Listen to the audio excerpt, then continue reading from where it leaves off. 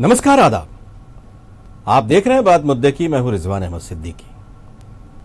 सियासत में बदजुबानी, निम्न स्तरीय हरकतें, अपनी ओर आकर्षित करने के लिए किसी भी तरह के उपक्रम आम से हो चले, और ये बेहद अमर्यादित हैं, और जिसको लेकर समाज को चिंता करनी चाहिए, और लोकतंत्र के जो मुहाफिज हैं, उन्हें तो शर्मिंदा भी होना चाहिए। लेकिन अमर्यादा दिल्ली के चुनाव से अब सदन तक पहुँच गई है। राहुल गांधी ने प्रधानमंत्री पर एक तंज का सा एक बयान दिया कि छह महीने बाद जब वो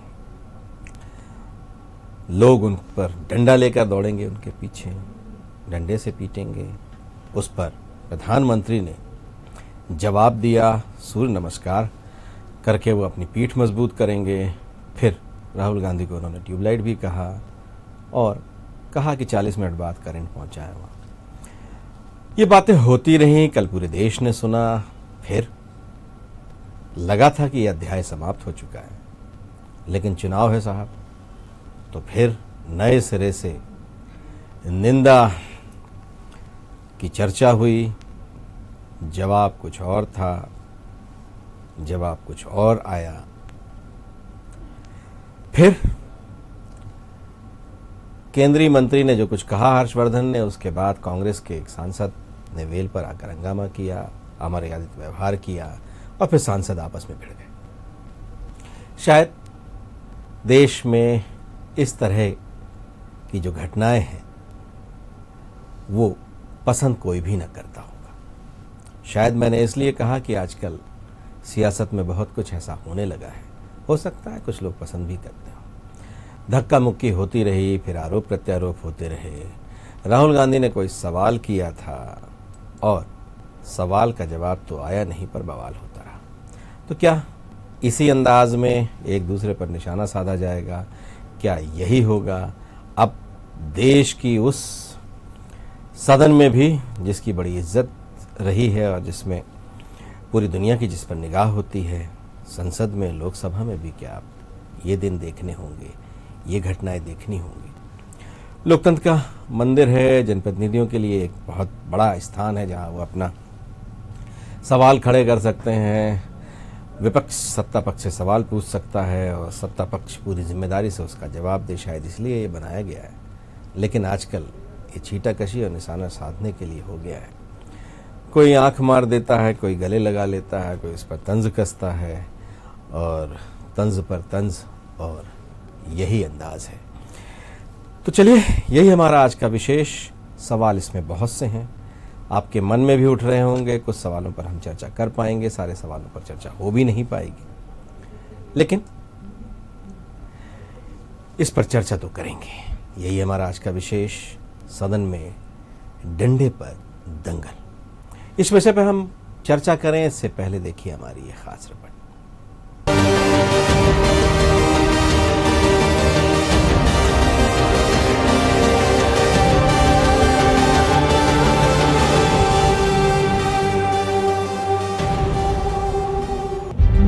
बोली पॉलिटिक्स।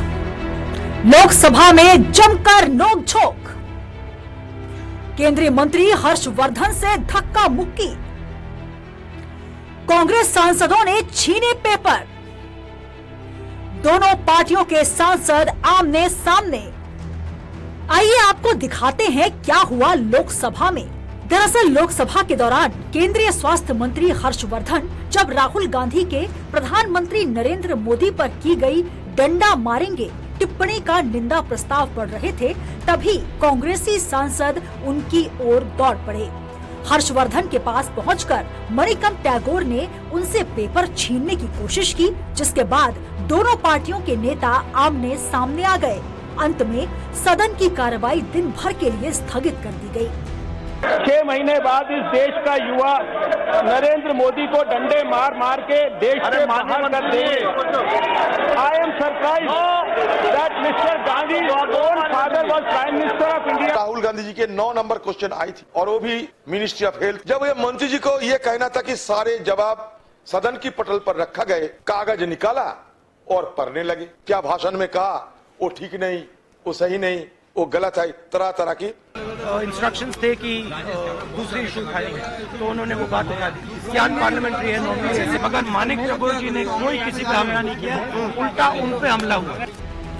अब चलिए उस बयान को सुन लेते हैं जिसकी वजह से ये पूरा बवाल हुआ। नरेंद्र मोदी अभी भाषण दे रहा है मैं आपको बता रहा हूँ छह महीने बाद सात आठ महीने बाद ये घर से नहीं निकल पाएगा। हिंदुस्तान के युवा हिंदुस्तान के युवा इसको ऐसा डंडा मारेंगे, इसको समझा देंगे कि हिंदुस्तान के युवा को रोज़गार देने के बिना ये देश आगे नहीं बढ़ सकता है। पत्र सुना। उन्होंने घोषणा की है कि छह महीने में मोदी को डंडे मारेंगे। लेकिन मैं भी छह महीने में तय किया हूँ कि रोज सूर्य नमस्कार की संख्या बढ़ा दूँगा। महीने ऐसे सूर्य नमस्कार करूँगा, ऐसे सूर्य नमस्कार करूँगा कि मेरी पीठ को भी हर डंडे झेलने की ताकत वाला बना दूँगा दोनों दल एक दूसरे पर आरोप लगा रहे हैं। सत्ता पक्ष का कहना है, कांग्रेस सांसद राहुल गांधी के उकसाने पर कांग्रेस के सांसदों ने ऐसा किया। वहीं राहुल गांधी का आरोप ये है कि उन्हें सवाल पूछने नहीं दिया जा रहा था। सड़क से शुरू हुई बोली, गोली और डंडा राजनीति लोकसभा तक पहुँच गई है। लोकतंत्र के इस सबसे बड़े मंदिर में जनप्रतिनिधियों का ये आचरण देश को क्या संदेश देता है? ये एक बड़ा सवाल है।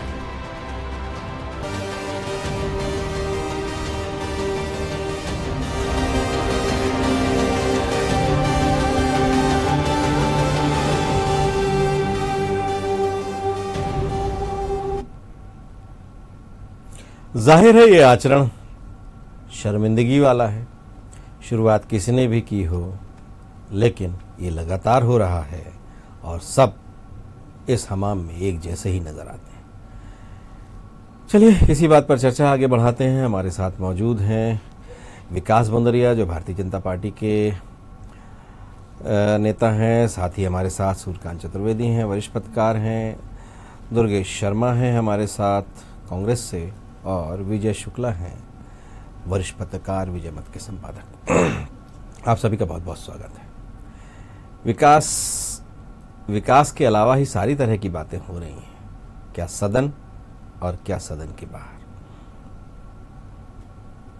कभी भी कहीं भी सदन में मौजूद व्यक्ति के द्वारा अगर कोई अभद्रता, कोई उनकी गरिमा को ठेस पहुँचाने वाली बात की जाती है तो उस व्यक्ति, उस सांसद की मौजूदगी में, सदन में उसके ऊपर चर्चा, निंदा, प्रस्ताव, ये बड़ा स्वाभाविक है।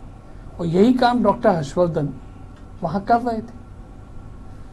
जब वो इस बात को, अपनी बात को कह रहे थे, उस वक्त मैन हैंडलिंग के लिए उन तक कागज़ छीनने कौन पहुँचा? विवाद वहाँ से चालू हुआ। और मुझे लगता है कि अंत भी वही हुआ है। इसमें गलती स्पेसिफिकली कांग्रेस के जिस सांसद की थी, वो स्क्रीन के ऊपर लाइव सबने देखी है, संसद में भी देखी गई है। निंदा प्रस्ताव पढ़ा जाना गलत नहीं था। व्यक्ति सदन में मौजूद थे। सांसद महोदय राहुल गांधी एज अ सांसद सदन में मौजूद थे। उनकी उपस्थिति में उनके द्वारा कही गई चीज़ की चर्चा असंसदीय नहीं है। संसद में प्रतिबंधित नहीं है। अब आप समझिए कि जो भाषण राहुल गांधी जी का हमें देखने को मिल रहा है, क्या प्रधानमंत्री के संबंध में अबे तेरे तुबे करके की इस तरह की भाषा को एक सांसद के द्वारा मंच से बोला जाना मर्यादित कहलाएगा अभी अभी तो नहीं सुना मैंने। मैं उस तरह की भाषा मतलब बोल रहा हूँ मैं आप- पे आप उसको और अतिरंजित नहीं नहीं मैं अतिरंजित भी नहीं कर रहा। आप अगर ज़्यादा समझ रहे हैं तो मैं उसे आप सेम उस बात को समझे कि जी। इस तरह की सीधी भाषा में बात की सीधी तुम तू तुम टाइप की कुछ भाषा में बात की थी। डंडा मारना। तुम टाइप की कुछ भाषा में बात की थी और जनता जन युवा जो है डंडा मतलब क्या मारेंगे क्या राहुल गांधी छह महीने आठ महीने नौ महीने। सांसदों के संबंध में उनके मैं तो चल कह रहा हूँ कि उनके पार्टी के सांसदों मैंने आपको अबे तबे पर ही बस टोका है साहब। बाकी तो आप जो है वो तो वो तो जो दुनिया ने देखा है वो तो है अबे तुबे तरह की मैंने कहा। मतलब एक रफ मतलब आप थोड़ा आगे ले गए उसको इसलिए मैंने आपको मैं मैं बिल्कुल आपकी बात से जितना जैसा कहा उतना ही समझिए। ना उसे हाँ, बहुत ज़्यादा। मैं क्लिष्ट बनाना चाहता हूँ ना डाइल्यूट करना चाहता हूँ। चलिए। सुरकांत जी क्या देख रहे हैं? किस तरह से देख रहे हैं इन सब चीज़ों को? क्या हो रहा है? भाषा की मर्यादा तो इस निम्न स्तर पर पहुँच गई है कि वो अब उसको मर्यादा और मर्यादित और ये मतलब ये तो कहा ही जाना अब उससे उससे भी कुछ आगे के कड़े शब्दों का इस्तेमाल किया जाना चाहिए उस पर पड़ेगा। और सदन में भी इस तरह की बातें प्रधानमंत्री कल कुछ बहुत कुछ कह चुके थे, जवाब आप दे भी चुके थे। आज नए सिरे से फिर वही राग। क्या कहेंगे आप? देखिए साहब, जिस भाषा का प्रयोग राहुल गांधी जी ने प्रधानमंत्री जी के लिए किया, उसे भी उचित नहीं कहा जा सकता है, और आज जो कुछ हुआ, उसे भी उचित नहीं कहा जा सकता है। जब सदन में कल प्रधानमंत्री जी स्वयं राहुल गांधी जी के प्रश्न का जवाब दे चुके हैं या उनकी टिप्पणी का उत्तर दे चुके हैं तो उसके बाद उस मामले को वहीं समाप्त कर दिया जाना चाहिए था।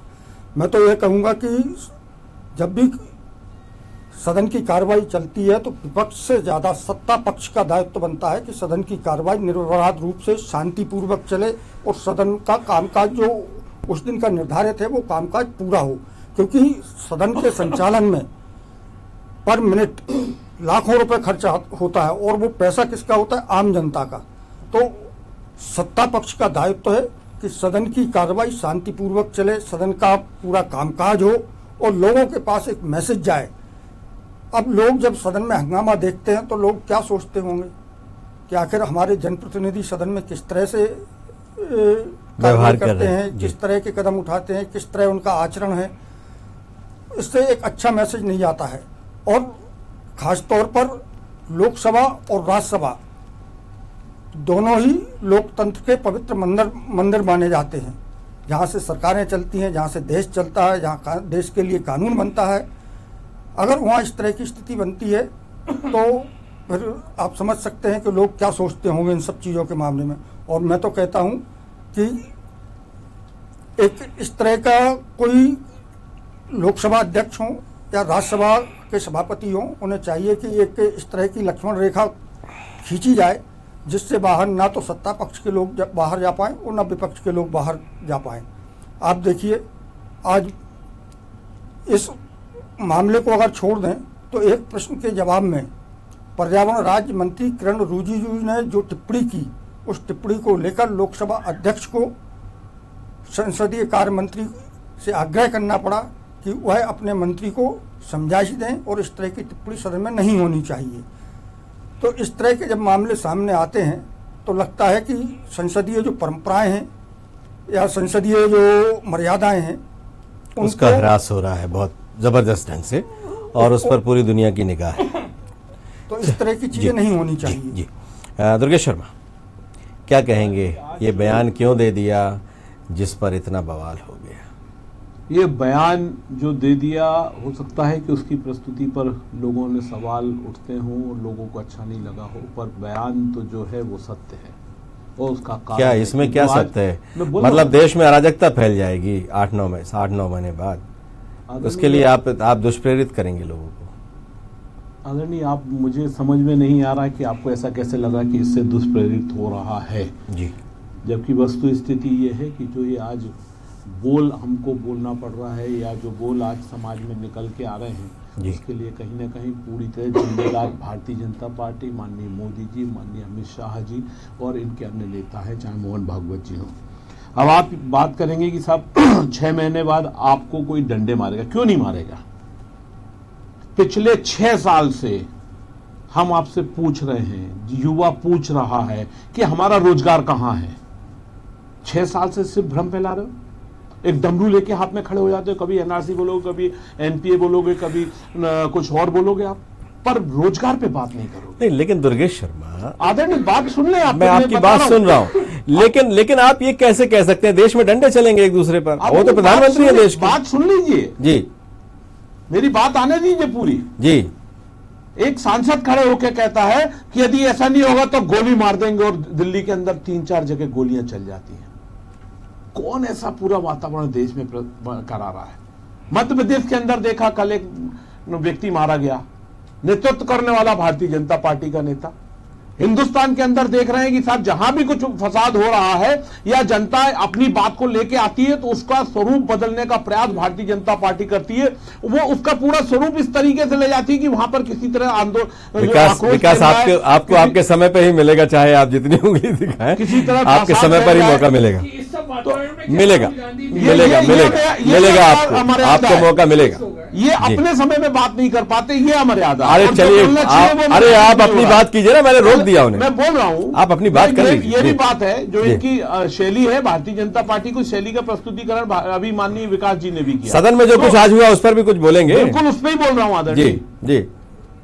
बाहर सदन के क्या हुआ उस पर देश में प्रधानमंत्री महोदय ने सदन के अंदर खड़े होके देश के प्रथम ये तो सूर्यकांत कह चुके हैं ये तो सूर्यकांत कह चुके हम सब भी कह चुके हैं।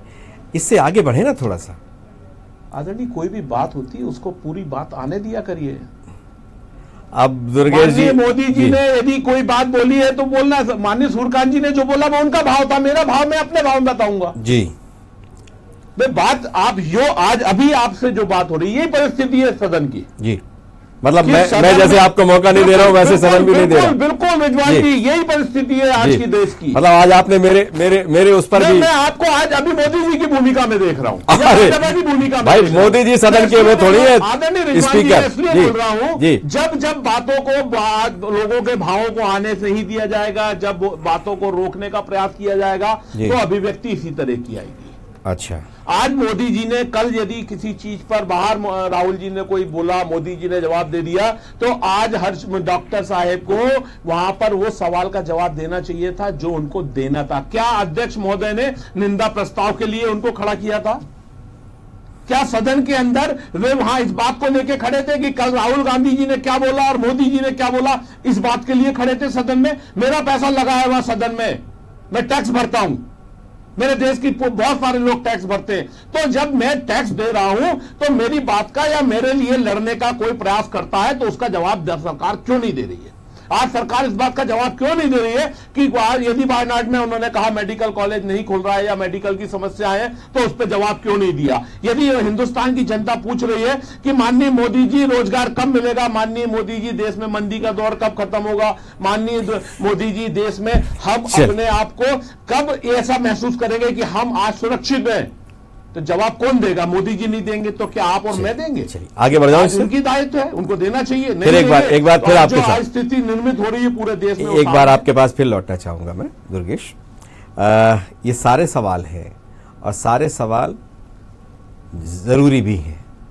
लेकिन सवाल पूछने के लहजे पर तो सवाल खड़े होंगे ही।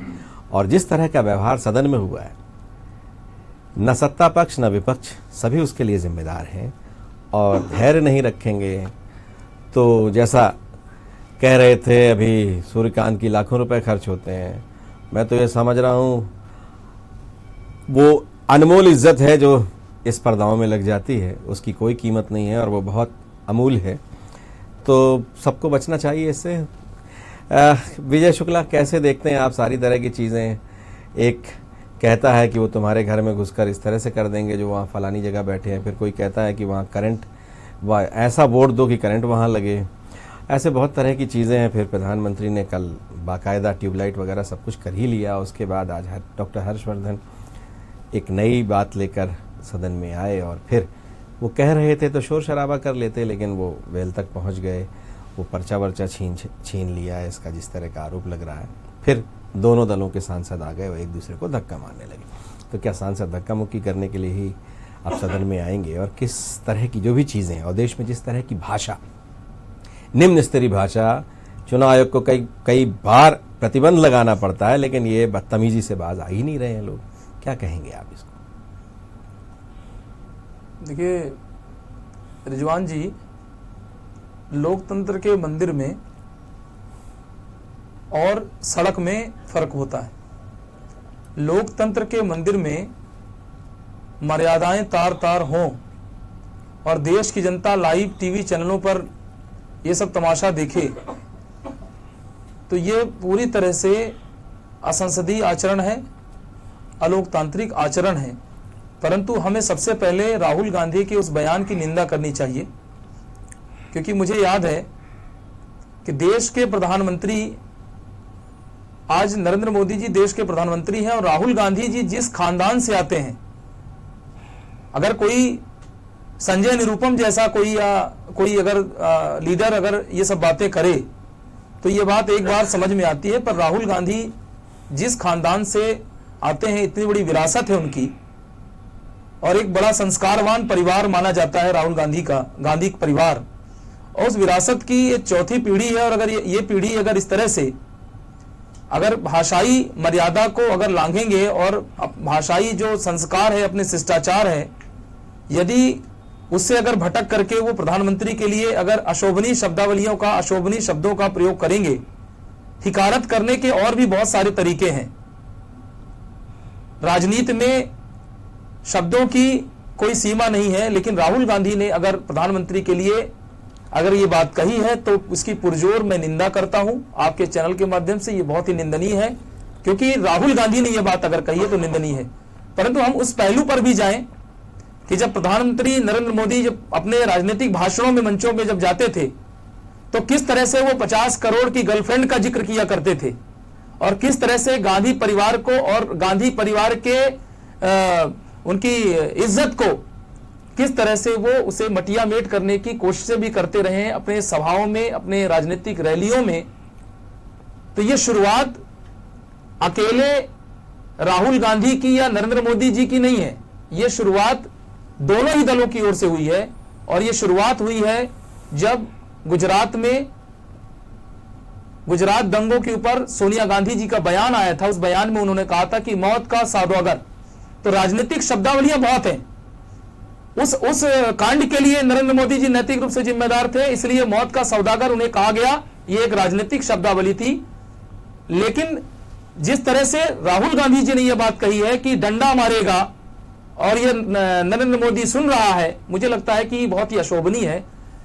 जहाँ तक संसद भवन की गरिमा का सवाल है, सत्ता पक्ष की पहले ज़िम्मेदारी बनती है। क्यों बनती है? क्योंकि प्रधानमंत्री नरेंद्र मोदी उस सदन पर मत्था टेक करके उसे लोकतंत्र का मंदिर कहा जाता है और उस लोकतंत्र के मंदिर में प्रधानमंत्री जी जिस तरह से हमने देखा है कि प्रधानमंत्री जी अपनी गरिमा के अनुसार अपनी शब्दावलियों में अपनी गरिमा धीरे धीरे प्रधानमंत्री जी खोते जा रहे हैं। उनकी लोकप्रियता में कोई कमी नहीं आई है। उनकी लोकप्रियता हिंदुस्तान में अभी भी बरकरार है। और ये भी, और और ये भी मैं कह दूँ कि शाहीन बाग के आंदोलनकारियों के आंदोलन करने से या शाहीन बाग के लोगों को खाली कराने से इससे कोई फ़र्क नहीं पड़ेगा। दिल्ली के चुनाव में आम आदमी पार्टी सत्ता के साथ सरकार बना रही है। अरे इस- आप तो एग्जिट पोल भी कर और। इसलिए इसलिए देखिए मैं इसलिए जोड़ रहा हूँ कि जो कुछ भी ये हो रहा है देखिए नरेंद्र मोदी जी का बयान आप नोट करिए। नरेंद्र मोदी जी ने क्या कहा? नरेंद्र मोदी जी ने जनता की सहानुभूति को बनाने के लिए लक्ष्य दिल्ली चुनावी है। चलिए मैं समझता हूँ उसको सभी लोग समझते हैं। सदन में किस तरह से उन्होंने कहा। कि मैं सूर्य नमस्कार अपने और बढ़ा दूँगा और मैं अपनी पीठ को और मज़बूत कर लूँगा। तो ये ये देखिए एक तरह ट्यूब भी कहा। उन्होंने लाइट जल गई ट्यूब व्यूब सब कुछ कहा। और सब उन्होंने कहा। मुझे लगता है प्रधानमंत्री जी को अपनी अपनी भाषा उन्होंने उन्होंने तो कल उन्होंने तो कल विकास से पूछूँगा। उन्होंने तो कल पंडित जवाहरलाल नेहरू को कहा प्रधानमंत्री बनने के लिए उन्होंने देश देश में बंटवारा कर दिया। नहीं देखिए कि हम कहाँ कहाँ जा रहे हैं कहाँ ले जा रहे हैं इस चर्चा को? बिल्कुल सही है अमर्यादित है ज़बरदस्त है और छो, क्या छोटा क्या बड़ा और, और देखिए प्रधानमंत्री जी के राहुल गांधी जी की उम्र में और प्रधानमंत्री जी की उम्र में भी बहुत अंतर है रिजवान भाई। जी। तो कम से कम आप पद न सही कम से कम उम्र का लिहाज करके जी। और आप राहुल गांधी को बख्श दो और अगर बख्शना ही है तो मर्यादित शैली में जवाब दो। आप अपनी मर्यादा क्यों खो रहे हो? आप अपनी शालीनता क्यों भंग कर रहे हो? देश की जनता आपसे सवाल करेगी। देश की जनता क्यों नहीं सवाल करेगी? आज जिन मुद्दों पर आपको जवाब देना चाहिए उन मुद्दों से आप हिंदुस्तान की जनता का आप ध्यान भटका रहे हैं और उन्हें मंदिर में एक बार एक बार आप सब लोग। एक बार आप लोगों के पास फिर लौटना है। जल्दी जल्दी कहिएगा वक्त बहुत कम है अब। दुर्ग विकास आप बहुत इशारे कर रहे थे तो जल्दी कह लीजिए जो कहना है। मैं तो बात उतनी रख रहा था वो अब उतनी क्या इतनी है? सारी तरह की बात है बात। उतनी चली गई था। जी। राहुल गांधी जी को देखिए संसद में हास प्रयास छीटा कशी सार्वजनिक जीवन में भी हो सकती है। लेकिन अमर्यादित भाषा अलग चीज़ होती है। जी, जी। हास प्रयास अलग चीज़ होती है। नहीं क्या इसको इसको कितने दिन पकड़ के रखना है। इसको कितने दिन पकड़ के रखना है? अभी बीच में भी आपकी वो जो जो बड़ी बड़े ढेर सारे लोगों ने मिलके राहुल गांधी पर बीच में भी माफ़ी मांगो और ये सब तरह की बहुत ढेर सारी चीज़ें की थी। और बाकायदा चुनाव आयोग में जाके शिकायत भी की थी केंद्रीय मंत्री ने। जो दुष्कर्म हुआ बलात्कार हुआ उस पर कोई बात नहीं करते आप लोग। आपने राहुल गांधी ने कहा रेप इन इंडिया तो आपने उसको पकड़ लिया और बिल्कुल राहुल गांधी को के पीछे पड़ गए। और पप्पू बनाने में तो आप लगातार तुले हुए हैं। तो अब ज़ाहिर है ये सियासत का कोई अच्छा अच्छा रूप तो है भाई जी। प्रतिपक्ष की कमज़ोरी को उजागर करने में अगर हम ये पप्पू कमजोरी- पप्पू कमज़ोरी होती है। तो हम कोई ट्यूबलाइट। कमज़ोरी होती है। नहीं पप्पू क्या? हम पप्पू पप्पू आप ही तो बोलते हैं। अरे आपके एक- एक आपके आपके अनेक नेताओं को मैंने व्यक्तिगत रूप से सार्वजनिक सभाओं में कहते सुना है साहब। इससे इंकार मत कीजिए। मैंने सुना है उसको इंकार तो नहीं कर सकते आप। हास परिहास? जी ये हास परिहास है अगर हर, जी चलिए। शब्दों पे ही जा रहे हैं मैं जो बात कह रहा हूँ। जी जी। कि कहीं कोई अमर्यादित शब्द इस्तेमाल किया क्या। संसदीय शब्दों का इस्तेमाल हुआ क्या? नहीं हुआ ना? विजय भाई जो बात कह रहे हैं वो यही है कि प्रधानमंत्री अपने प्रतिपक्षी की अमर्यादित नहीं है। ए, ये कितने की गर्लफ्रेंड में तो गिनती ही भूल गया। ये अमर्यादित नहीं है। गरीब लुगाई ये अनुवादित नहीं है। एक मिनट। जी। अखबारों में गॉसिप कॉलम छपता है। जी। बिना नाम लिए चीज़ें कही जाती हैं। अरे भाई ये तो देश के प्रधानमंत्री के। मुँह से निकले हुए शब्दों का ज़िक्र कर रहा हूँ किसी के मैं नाम के साथ लिया क्या एक बात बताइए आप आप आप कल संसद की बात कर रहे हैं जी। संसद और में अट्ठास जी है तो किसी सदन में लेके अट्ठास जो है वो वो वो रामायण रामायण सीरियल की तरह रामायण सीरियल की तरह अट्ठास लगते हैं। वो वो अमर्यादित नहीं है। जी। रामायण सीरियल की तरह वो अट्ठास अट्ठास लग रहे हैं रेणुका चौधरी का जो जो हँसी थी वो ज़ोर से किसी उस का नाम लेके कही गई अरे भाई नहीं कही गई। ये ये ये क्या होता है? ये क्या देखिए देखिए ये क्या है? नहीं नहीं नहीं। नहीं, नहीं, किस- नहीं। तो सदन में- सदन में किसकी हँसी सुनी थी उस दिन? हो रहा है किसी के बाद किसी पे रिएक्ट किया जा रहा है दुर्गेश जी, बीच में मत बोलिए साहब। अगर बिना नाम लिए भी किया जा रहा है आपको लग रहा है कि ये उस तरफ़ इशारा है तो मुझे लगता है कि ये एक अच्छी- अच्छी परंपरा जीवन में होता है वो अच्छी तरीका है। लेकिन आप देखिए आज सदन में क्या हुआ? विषय जो राहुल गांधी का था वो तो था ही था। आज श्रीमान राहुल गांधी जी की टीम से एक सांसद उठते हैं वेल तरफ़ जाते हैं और मंत्री से कागज़ खींचते हैं सदन में चलते सदन जी में। जी। ये अमर्यादित है। मर्यादित है। ये मर्यादित है। बाकी लोग जाके भिड़ जाते हैं। ये भी अमर्यादित है। भिड़ नहीं जाते। भिड़ जाते हैं बिल्कुल धक्का मुक्की करते हैं एक दूसरे के साथ। बाकी लोग भी उसके साथ में अमर्यादित है, सब आए हैं। अमर्यादित है। ये तो इनका आरोप है ये बीच बचाव में आए क्या? वहाँ कोई व्यवस्था ही नहीं है। आरोप है। वहाँ कोई व्यवस्था नहीं है। आरोप है। अरे सबने देखा है। वो कागज़ भी छीनते देखा और आपस में धक्का मुक्की करते भी देखा। वहाँ पे मंत्री के सीट पे? बिल्कुल अमर्यादित है सब कुछ अमर्यादित है। बात कर रहा बिल्कुल अमर्यादित है। सदन स्थगित करना पड़ा दिन भर के लिए अमर्यादित ही है। लेकिन आपको नहीं लगता कि अनुराग ठाकुर ने जो कहा वो बहुत मर्यादित है? प्रतिबंध लगाना पड़े। कार्रवाई करी। अरे आपने क्या कार्रवाई की? आपने क्या की? चुनाव आयोग ने जो की वो तो की। आपने क्या की? नहीं तो ये कार्रवाई हुई ना साहब। ये चुनाव आयोग की कार्रवाई पर ही निर्भर है ने आप। भी किसी ने भी उस बात को इंडोर्स किया क्या? कि ऐसा करना चाहिए गांधी गांधी? गांधी का आंदोलन नाटक है। ये सारी तरह की चीज़ें आप बाहर कहते रहिएगा। उसको सदन में ले आइए ना उसको भी सदन में ले आइए या तो पार्टी ने उन्हें कहा कि आपको इसके लिए क्षमा मांग मंगवा दी अभी तक तो नहीं मांगा उन्होंने क्षमा। उन्होंने कहा मेरी बात का गलत मायने निकाल लिया है। मैंने कहा ही नहीं ऐसा। देखिए वो व्यक्ति पार्टी- पार्टी इतनी- इतनी- बात करेगा। पार्टी की लाइन पार्टी की लाइन हम लोगों के माध्यम से आप तक पहुँची ना चलिए क्या लाइन है? चलिए। लाइन लाइन जो है बड़ी स्पष्ट लाइन तोड़ो लाइन तोड़ो और जुर्माना भी मत करो। लाइन तोड़ो और जुर्माना मत करो। ये तो ये तो पार्टियों में ही होता है। बाकी तो कानून तोड़ा तो गड़बड़ होती है आदमी को सजा वजा भुगतनी पड़ती है माफ़ नहीं करते आप पार्टी की बात करने के चलिए, लिए हूँ पार्टी चलिए, का भाव चलिए चलिए आप पार्टी का भाव करते हैं बहुत अच्छे व्यक्ति हैं और बहुत अच्छा बोलते हैं लेकिन विकास जो है वो दिखता नहीं है अभी सभी लोगों ने पूछा देखिए एक ये भी बात। जी। आप देख तो रहे अलग हैं आप कह दीजिए आप दिख रहे हैं। एक मिनट। जी। तो क्या हम बेरोजगारी अगर है देश में चैलेंज है तो क्या उस पर बात नहीं करते? क्या कहा किया? कल सदन में आपने नहीं किया? बिल्कुल इकोनॉमिक सर्वे अरे जवाब दिया राष्ट्रपति के अभिभाषण में, आपने बात नहीं किया, इसका ज़िक्र नहीं किया। एड्रेस करते जहाँ उचित प्लेटफॉर्म है उसको भी लगातार सरकार की तरफ़ से एड्रेस किया जाता है। अब वक्त- लेकिन अब बचा नहीं है वक्त। होंगी और हम पे कहेंगे अब वक्त बचा नहीं है। कल कल प्रधानमंत्री ने एड्रेस नहीं किया उसको और सवाल तो खड़े होंगे आने वाले सूर्यकांत जल्दी से कहिएगा कुछ। देखिए मैं तो यही कहूँगा जो भी जो बीत गया सो हो गया। बीती ताए शारदे आगे, आगे की सुध ले बिल्कुल। अभी ऐसा कुछ भी नहीं बिगड़ा है। जी। एक लाइन खींची जानी चाहिए और एक बार सारे सांसदों को सारे जनप्रतिनिधियों को बैठ के तय कर लेना चाहिए कि हम इन मान्य परंपराओं से बाहर नहीं जाएँगे। अगर इन मान्य परंपराओं से बाहर जाएँगे तो हमारे लिए एक कोई एक आचार संहिता एक आचार संहिता हो और उसमें दंड का प्रावधान हो। ज़रूरी नहीं है दंड कोई आपराधिक टाइप का हो।